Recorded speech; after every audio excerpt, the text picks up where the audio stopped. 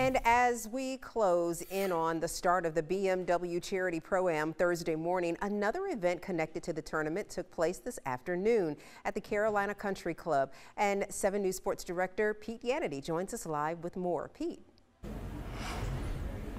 Yeah, Kimberly, just wrapping up right now, another of the first tee clinics that have been going on this week. The other day, Dan Vasca was out here at the driving range of the Carolina Country Club for some of those. Another one today, and it's uh, just as we said, winding down. We're just over the hill from the first tee at the Carolina Country Club, where the action will begin here and at Thornblade just before 7 a.m.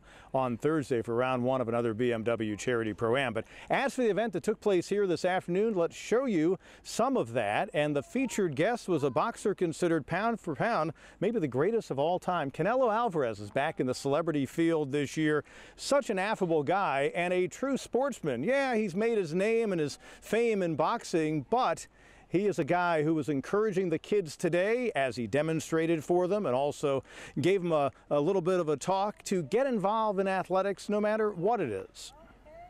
He's good. Every sport is good so for the kids and, uh, and motivate them to come to the golf so I feel proud. Canelo Alvarez will be seen playing at both courses over the next couple of days. And of course, he is a guy who was uh, had great success last year, not only on the course as a celebrity, but in terms of a gallery. What a following he had. What a great turnout they had here today. A couple of hundred kids, lots of mom and dads too were anxious to see him and hear what he had to say.